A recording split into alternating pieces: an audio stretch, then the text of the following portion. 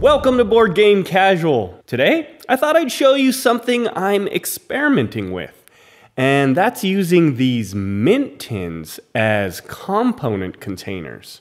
I love component containers that have lids so much more than plastic baggies. I feel like baggies get so fiddly and then you're just dumping everything into piles, whereas a nice component container or tray can just be pulled right out of the box, set on the table or game board, and opened up. They also make cleanup so much easier as everyone instinctively knows to just throw components back into the trays with like pieces. I've been a big fan of these plastic containers, like the ones that come in Wingspan, and I like that these aren't game specific. They're, they're a generic solution that can fit in any game box. I got these specific containers from the Dice Tower fundraising Kickstarter a couple of years ago. But I always feel guilty bringing more plastic into the world.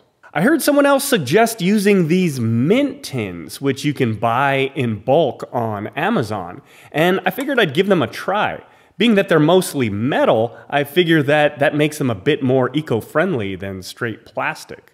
There's a bunch of different types and sizes. You can even buy ones that are pure metal, but I opted for these which have a clear plastic window in them, so you can still see the components that are inside. I also opted for ones with a fully removable lid rather than a hinge lid so that they have a smaller footprint when opened up. This pack of 24 cost me about $19.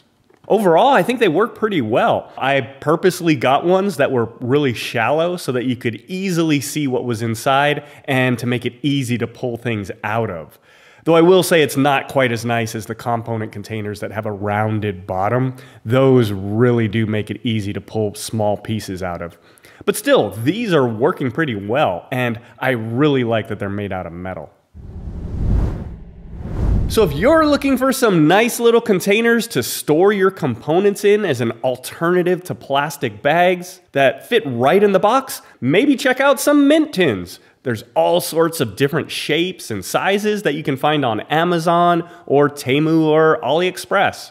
And on the flip side, if you've got a really good alternative recommendation for component storage, especially something that's affordable and eco friendly, put it down in the comments. I'm always on the lookout for good component storage suggestions, especially ones that aren't game specific.